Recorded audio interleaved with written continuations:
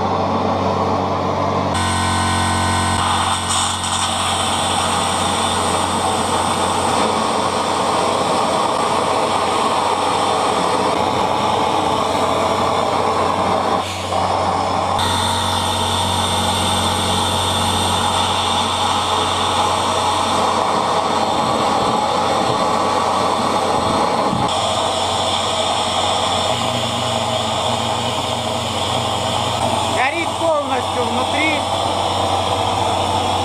Воздуха вырабатывается очень много. Но, как видите, струя не сильно горячая.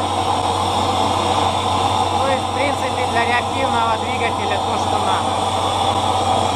Можно добавлять газа, и тогда получается вот это.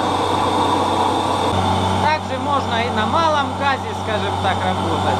Можно уменьшить подачу газа еще меньше добавить воздуха.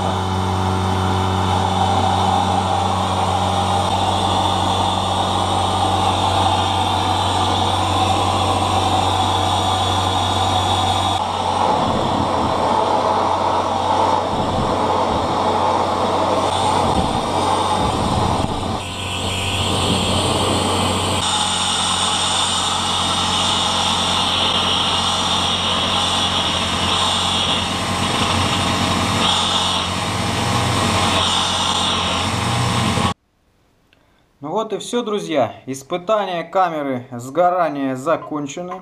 Все это дело можно прорезюмировать так. Я добился, что вот это отверстие теперь гораздо меньше и внутри нормально, стабильно поддерживается горение. Добавил здесь несколько отверстий и добавил вон там на донышке тоже несколько отверстий. Они просверлены под углом. И все это дело, в принципе, стабилизирует пламя. Возможно, можно еще добавить отверстий, потому что здесь, как видите, цветов побежалости нет. И пламя начинает активно гореть, вот э, начиная с этой части. Ну, в принципе, там, где большие отверстия для воздуха.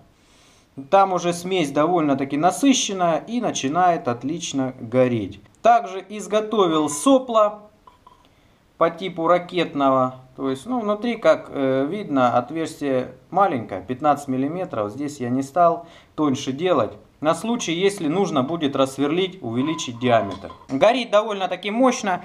Поток подожженный гораздо сильнее, чем просто если воздух из компрессора давать. Ну и как вы видели, я пробовал затыкать пробовал металлическим листом затыкать, горение внутри поддерживается до определенного момента. Когда уже совсем заткнешь, тогда поток газа, видимо, прекращается и все резко тухнет. Также с помощью вот этих э, пару баллончиков мне удалось адски нагреть внутри помещения. То есть температура весьма высокая, горит эффективно и газ полностью сгорает. Никаких угарных газов слышно не было. Хочется узнать принципы на деле, то есть экспериментально все проверить, чтобы можно было начать собирать реактивный двигатель, чтобы понимать на пальцах, скажем так, что куда сверлить и как что делать. На этом все, дорогие друзья. Кому видео было интересно, подписывайтесь на канал, ставьте лайки. Всех благодарю за внимание и всем пока.